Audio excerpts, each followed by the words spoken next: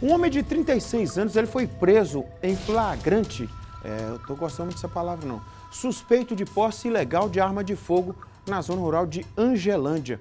É, durante o cumprimento de mandados de busca e apreensão, foram apreendidos na casa do suspeito uma espingarda cartucheira, essa que aparece aí, cinco cartuchos intactos e um deflagrado, né?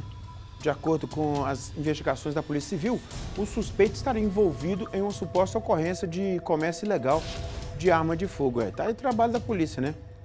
Sobre arma de fogo, já temos falado aqui, o diretor tá, tá aguardando aí uma, um posicionamento de alguém da Polícia Federal para falar com a gente aqui no estúdio, né? Sobre isso, mas a arma tem que ser legalizada, né? É, tem que ter posse, tem que ter porte, tem que ter o registro, guia de trânsito, se tiver fora desse parâmetro, ah, mas é na zona rural de Angelândia. É Brasil, é território Brasil. Tem uma lei que figura, que, que rege todo, toda essa questão aí, né? Mas as pessoas é incrível, elas insistem.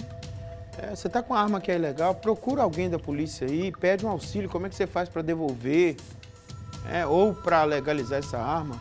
Aí é com os despachantes de armas, né? Temos diversos aí, grandes amigos, que sabem como é que funciona isso aí. Mas não fica com uma coisa ilegal, não. Ficar mais da lei é ruim demais, gente. É ruim demais, né?